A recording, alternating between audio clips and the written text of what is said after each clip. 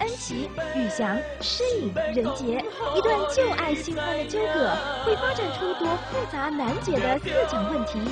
我问过诗颖的意思了，他说他会祝福我们。诗颖真的这么说吗？我想，他想回到任杰身边吧。林永胜一心想弥补昔日的过错，为什么反而还热情惹上飞来横祸？周一至周四晚上十点，剧情进入高潮，请看明史，只要你过得比我好。